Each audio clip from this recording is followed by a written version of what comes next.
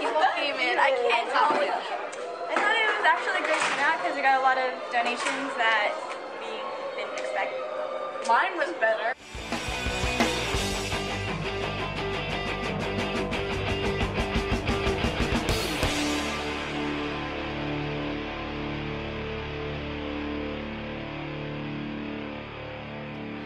Center Roundup on YCTV.